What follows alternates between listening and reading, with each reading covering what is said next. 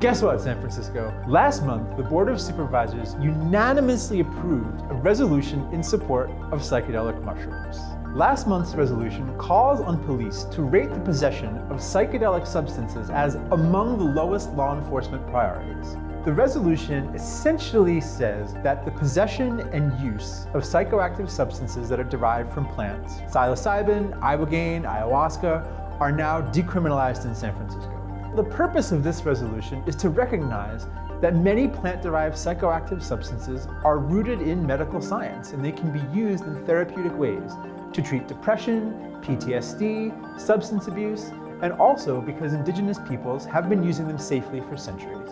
Decriminalized doesn't mean the same thing as legalized. It's now acceptable to possess, share with your friends, and distribute psilocybin and other substances, but you can't buy them in a dispensary, so no mushroom edibles for the time being. Psilocybin, like cannabis, remains categorized as a Schedule 1 drug at the federal level, meaning Uncle Sam finds it not only to be illegal, but also has no established medical use.